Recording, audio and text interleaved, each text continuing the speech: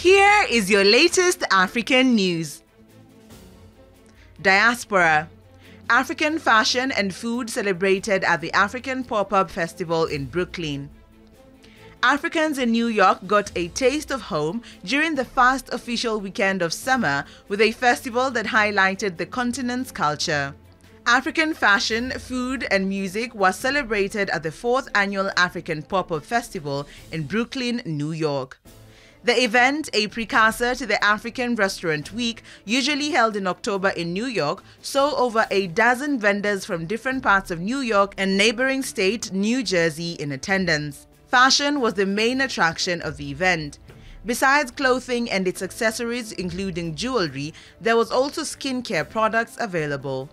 With nearly all COVID 19 restrictions lifted across the United States, organizers of the African Pop Up Festival have a packed itinerary for the second half of the year, starting with the African Restaurant Week in New Jersey in July.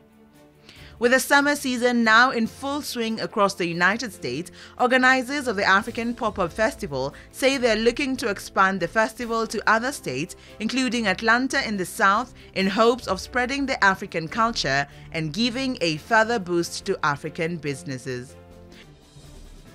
Thanks for watching. Please subscribe, follow, share, and like our video. It's the best way of supporting us. And remember, Africa is watching.